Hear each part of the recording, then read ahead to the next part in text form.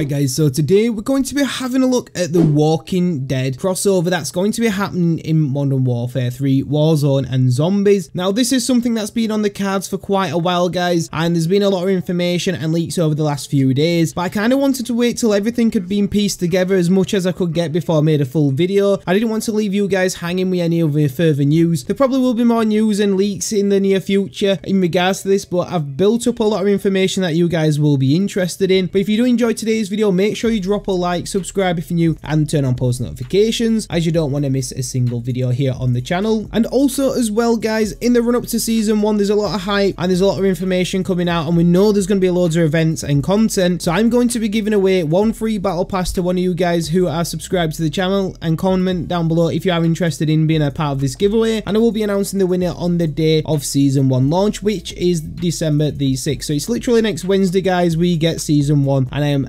definitely looking forward to getting that. So we've been wanting the Walking Dead event ever since Black Ops 2. Now, the reason why I say Black Ops 2 is The Walking Dead has been airing for about 10 years and Black Ops 2 was the hype of zombies. That's when zombies really hit an all-time peak and everybody really wanted a crossover back then. And we've been wanting this for a very long time, like I've mentioned, and it's finally going to be happening. It's all in the data files, the events in there, everything is going to be happening and we've kind of got some form of confirmation on roughly when the launch might be, which I'll discuss in just a moment's time. I just want to quickly mention though, I know I've mentioned the boys event quite a few times, the boys versus the 7. I just want to make you aware that there's going to be three new operators coming in, so we're going to get A-Train, Firecracker and Billy Butcher all coming into Modern Warfare 3. This will all come in in the event. I don't know if any of these will be unlockable as rewards or you have to purchase them from the store, but we'll find out that a bit closer to time, I would imagine. And there's also going to be a limited time mode called Temp vs Rangers. Basically, this is just going to be its own little game mode that you guys will have to play as there is a challenge you'll need to complete on there. There is a few challenges already leaked for multiplayer. Obviously, there will be challenges and probably limited time modes for both Zombies and Warzone as well. So we'll have to wait and see until we find out all that information. But so far, uh, it's pretty much just multiplayer information we've had in regards to that event. But that event is coming up quick and fast. That should be happening during season one. And just a few updates in regards to Zombies as well, guys. Modern Warfare Zombies wallet system will be coming into the game very shortly. Now, this could come in as early as Season 1 because we've had the wallet system set up before in DMZ. For you guys that don't know what the wallet system is, it's basically once you exfil whatever money you have remaining, it will actually go into a wallet. So once you respawn into zombies, you'll then be able to go ahead and use that money once again. So you won't lose all your money, which is brilliant. However, there potentially will be a cap on this, so then it's not being overpowered once you jump back into the zombies scene. So you definitely want to make sure you keep an eye out on that because that is going to be happening very, very soon. Also, we're going to see our roadmaps coming out very shortly for season one. Now, I do believe that